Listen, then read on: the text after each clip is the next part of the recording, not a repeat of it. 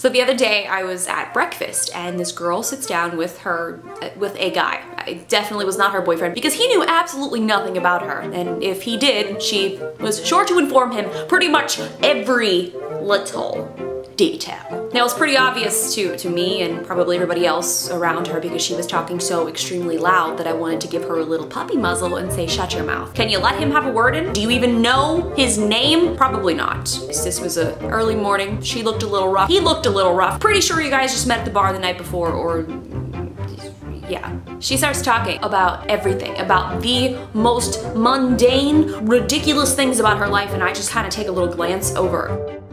After 20 minutes, this guy has said nothing. Does he want to say something? I have no idea because she's never even given him a second to say anything.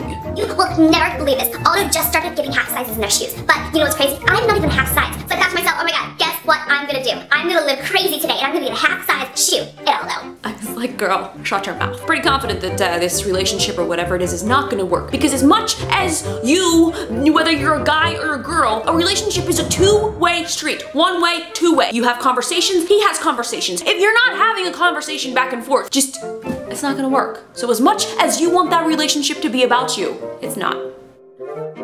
I'm sure you guys know a person like this. If you do, feel free to leave me a comment below and let me know your stories with that person. If you think this video's about you, about you. So sitting here ranting about this girl and I remembered this Julian Smith video that I watched a little while ago because this video truly captures the essence of these people. I love you guys. Be sure to subscribe so you'll see when I uh, post a new video here. And please, please, please go watch this Julian Smith video. It's just classic.